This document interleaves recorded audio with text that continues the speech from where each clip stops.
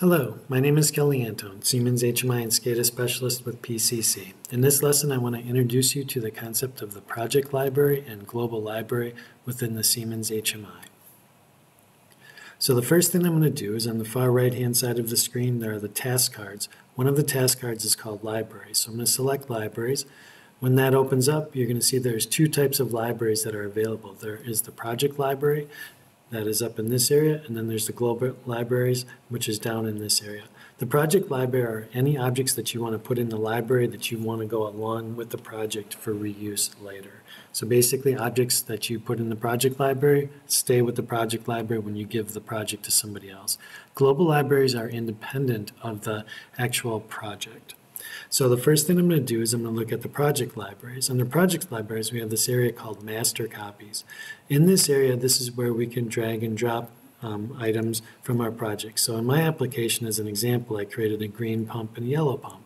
So if I want to store one of these objects in the project library, all I have to do is drag it into master copies.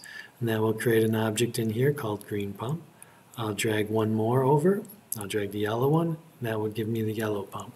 In the project library, you do have the ability to organize your objects as well. So I can right click on projects library and say add folder and I'll create one and I'll call it my pumps. And then what I can do is I can highlight the two pumps that I brought in and then drag those into the folder. So now I have a way to organize the objects that are in my library as well.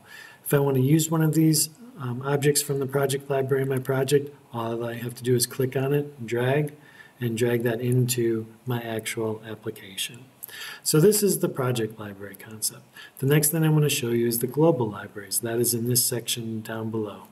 Siemens does provide you with a couple of global libraries where you can use, or that you can use in your project, uh, so that you can start uh, grabbing you know, various types of objects and bring them into your project for your use.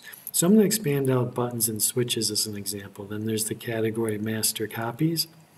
And then you have a whole series of categories of objects that are available to you. So I'm going to go into um, the push button switches as an example.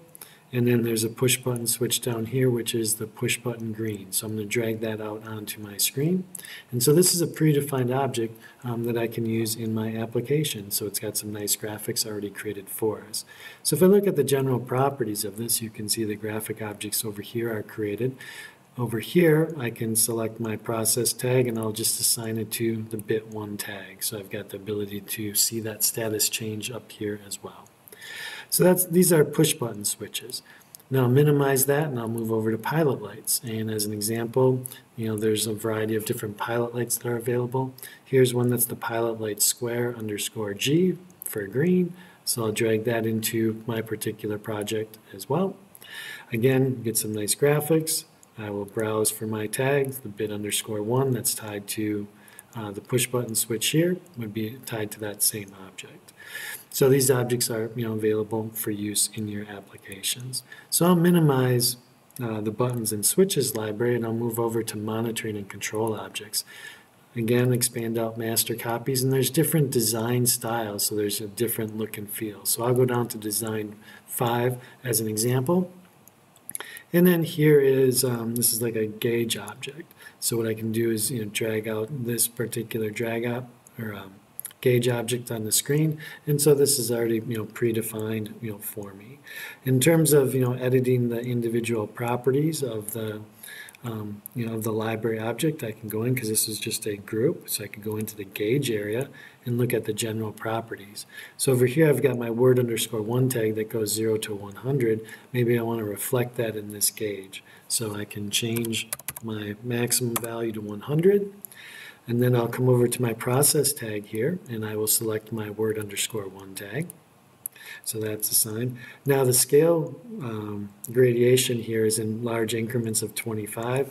Um, maybe I'll change that down to 10. And so now I've got a little bit more, you know, finer uh, labeling uh, concept uh, being implemented. So this is just using the meter uh, control. If I also go into um, design 5. There's also uh, buttons and switches over here. So I also have, you know, say if I wanted to do a pilot light, I could drag out pilot light switch as an example and, you know, put that out onto my screen. And then here I could assign it to the same tag. So these are just, you know, predefined objects, you know, with graphic images that are available, you know, for your use. So I'll save my project at this point. So I was using existing uh, global libraries at this point. I did use the project library and I added some objects in, but I also have the ability to create my own library. So in this case, if I, you know, I can just use the default name here, you know, library one, but I could call it whatever, you know, your company library, and that's going to be stored in a different location independent of the project. So I'll select create.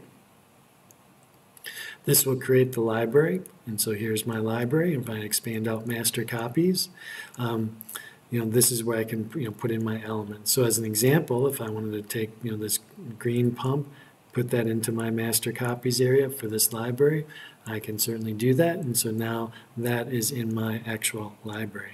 When you right click on a library, you have the ability to save it, save as, okay? You also have the ability to create an archive, you know, so an archive of the library. So if you want to distribute it to somebody else, you can create a compressed library and then give that to somebody.